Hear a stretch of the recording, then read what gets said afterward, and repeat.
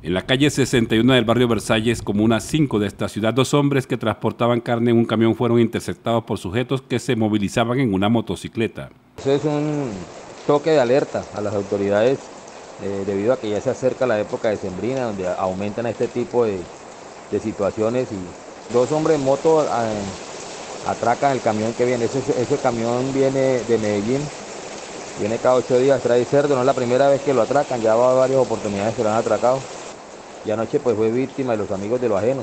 Estas personas amedrentaron a los comerciantes con arma de fuego y posteriormente se llevaron la suma de 6 millones de pesos y un celular. Hemos un llamado a las autoridades para que por favor los, eh, las rondas de los cuadrantes sean un poco más seguidas y pues así poder evitar de alguna manera el libre comercio en nuestra ciudad.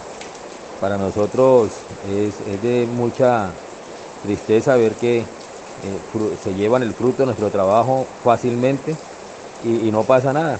Entonces eh, solicitamos la colaboración, el, apoyo que siempre hemos tenido del parte de las autoridades para que en este tipo de eventos eh, se pueda frustrar de alguna manera este, este, esta situación.